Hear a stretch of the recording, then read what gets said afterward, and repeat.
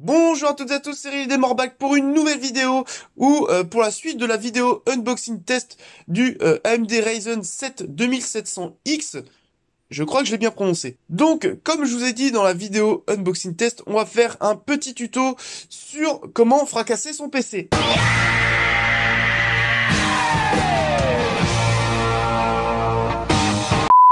Voilà, la blague de merde est passée, c'est bon, on peut passer aux choses sérieuses. Juste avant ça, pourquoi je tire mon téléphone en main? Parce qu'en fait, il va me servir de micro, hein, parce que le PC est éteint, je peux plus utiliser mon micro, donc euh, j'ai trouvé une solution de secours, donc euh, ne vous inquiétez pas si j'ai toujours mon téléphone ici. Donc pour le tuto, euh, alors je suis pas un expert, mais j'adore ce genre de choses.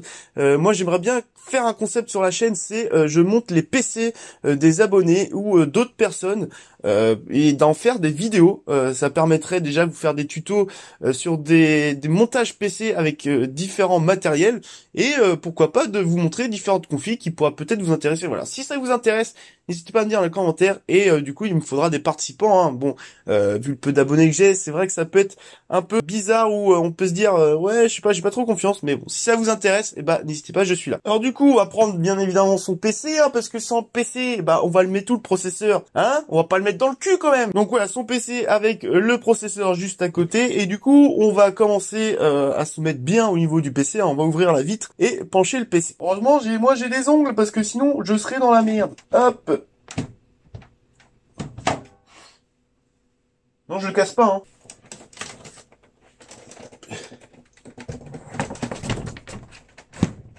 Du coup, ce qu'on va faire, c'est qu'on va enlever soit le water cooling, par exemple ici, euh, moi ce que j'ai là, soit euh, l'air cooling, donc le radiateur. Pour faire, vous regardez votre manuel d'utilisation, vous regardez le sens du montage, et en fait, vous faites tout l'inverse, c'est tout ça. Alors moi, comme un boulet, j'ai pas pris euh, mon manuel, donc je vais le monter, je le démonter à l'arrache, mais bon, je, je pense pouvoir y arriver. Ah, et d'un, et de deux, voilà.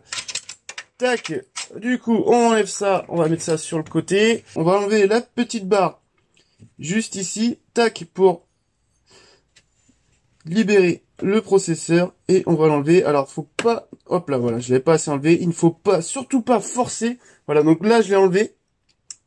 Il ne faut surtout pas forcer euh, lorsqu'on met ou qu'on enlève. Enfin, euh, oui, c'est ça. Lorsqu'on met ou qu'on enlève un processeur, parce qu'on risque de tordre les pins qui sont juste en dessous là, que vous pouvez voir.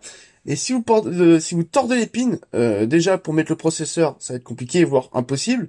Donc il faudra euh, remettre droit tous les pins. Et si vous en cassez ne serait-ce qu'une seule, au revoir processeur. Je vous le dis direct, pas la bonne chose à faire. Alors ce que je vais faire, c'est que je vais nettoyer un peu le processeur. Hein. Je vais nettoyer aussi le, la pâte thermique qu'il y a sur mon water cooling. Et je vous retrouve juste après. Voilà, donc j'ai nettoyé le processeur. Voilà ce que ça donne lorsqu'il est euh, à peu près nettoyé. Donc vraiment faites attention aux pins, hein. faites vraiment très très attention, hein. faut euh, le manipuler avec précaution. Hop, du coup moi je le pose de côté. Donc on va venir installer le Ryzen 7 2700X maintenant. Donc euh, comment repérer le sens où mettre le processeur, c'est très simple. Vous regardez en dessous le processeur et vous avez une petite flèche ici, un petit triangle. qui est juste là, j'espère que vous allez voir. Et du coup, sur le, les cartes mères, là on met le processeur, il y a un petit triangle juste ici. Donc voilà, donc il faut aligner ces deux triangles, donc normalement ça se met comme ceci. Et euh, pour mettre le processeur, il faut juste le poser, hein. faut pas forcer dessus, il faut le poser normalement, voilà. Là, vous voyez, j'ai absolument pas poussé le processeur dans le socket, hein.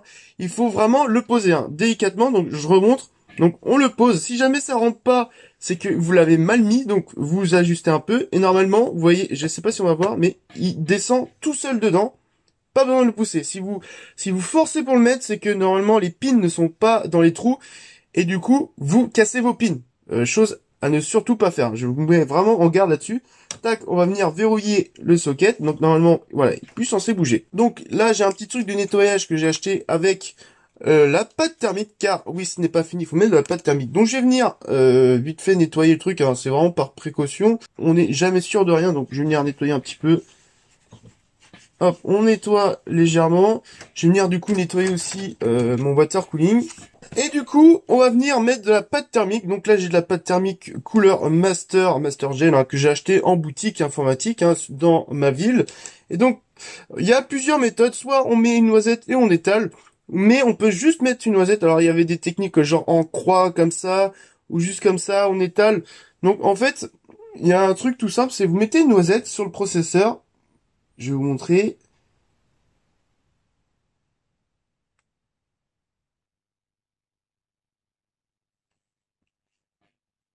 Hop. Voilà, vous mettez une noisette à peu près de cette taille-là. Pas plus, hein, faut, ça sert à rien d'en mettre trop. Hop, moi je vais refermer mon truc. Et du coup, quand je vais venir placer mon water cooling, la pâte va euh, s'étaler sur le processeur en appuyant dessus et ça va se faire tout seul. Donc c'est parti, on va remettre ce euh, joli bloc de water cooling. Voilà, j'ai dégueulassé évidemment mon water cooling. Hein. Fallait bien que je dégueulasse un peu tout. Par contre, faites vraiment très attention à ne pas mettre de, de pâte thermique dans le socket. Hein, chose vraiment à pas faire. Euh, le, socket ne risque de pas aimer du tout. Ça risque de chauffer. Et euh, bah vous, vous, vous tuez simplement votre carte mère. Alors moi je vais mettre ça j'essaie de mettre ça du premier coup, parce que la première fois, j'ai galéré. Et voilà, du coup, euh, maintenant que j'ai vissé dans le bon sens, euh, ça marche mieux. Hein. Donc le processeur est monté, le water cooling est monté aussi, ou le air cooling, suivant votre cas. Alors, moi, j'ai juste rebranché ça. Et euh, bah le tuto se termine ici, hein, parce que là, tout ce qu'il y a à faire, moi, c'est juste à rebrancher, à passer ça derrière et à le rebrancher devant et bah à allumer le PC, hein, tout simplement. je pense que j'ai rien oublié. Et euh, petite information, là au niveau de la carte mère, moi j'ai une X370. Normalement c'est optimisé pour les X470. Mais euh, regardez bien au niveau de votre BIOS s'il est mis à jour. Car euh, s'il n'est pas mis à jour, le processeur ne va tout simplement pas marcher. Hein. Donc mettez votre carte mère à jour et normalement tout devrait bien se passer.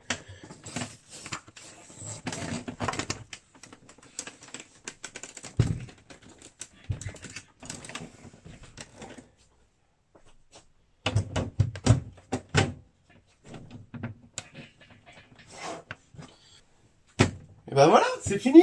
Donc ce tuto s'arrête ici. Le processeur a été changé, a été monté correctement. Il n'y a plus qu'à allumer le PC. J'ai mis le BIOS de la carte mère à jour. Donc normalement, ça devrait bien fonctionner. N'hésitez pas à aller voir euh, l'autre vidéo qui s'affiche dans l'un des deux coins, je ne sais pas lequel, mais euh, comme je me plante à chaque fois, je vais pas montrer.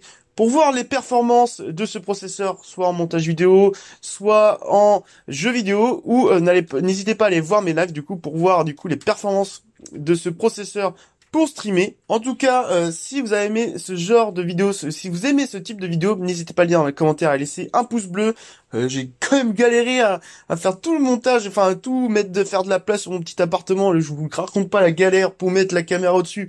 Enfin bref, c'était, ça m'a fait bien rire en tout cas.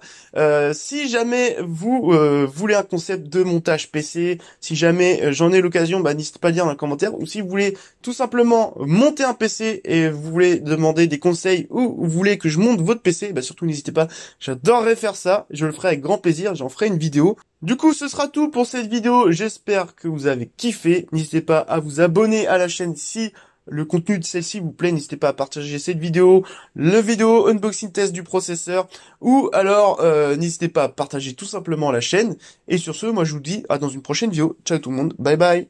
Allez mes petits, on prend la petite pause là pour la miniature